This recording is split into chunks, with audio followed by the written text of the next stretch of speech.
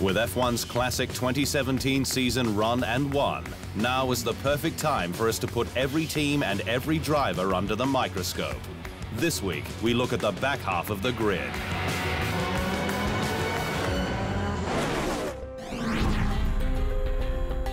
McLaren began the 2017 season with high hopes. Its new orange MCL 32 a visual sign of the team's new management marketing guru Zak Brown replacing F1 icon Ron Dennis at the helm.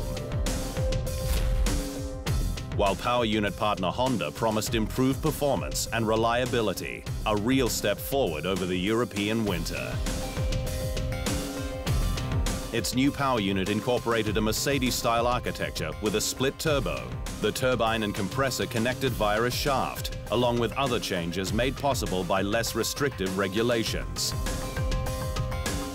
removal of the token system meant that we can implement every area for the engine.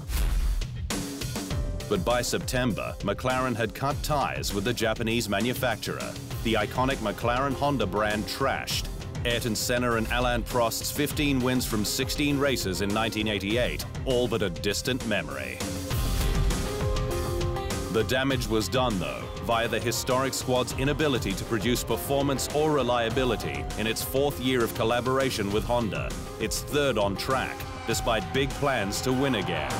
We want to recreate our past glories and take McLaren Honda back to the top.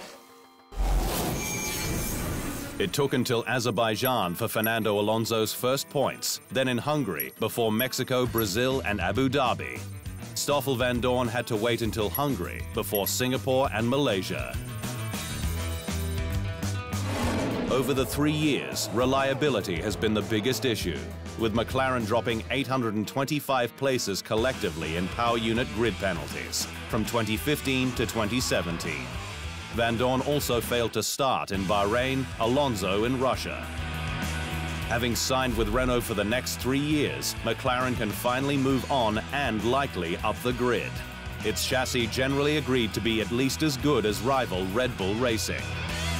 With Alonso and Vandoorne confirmed for 2018, the future looks promising for an F1 stalwart that has been stuck in a rut for the last three seasons. TheInsideLine.com for everything Formula One.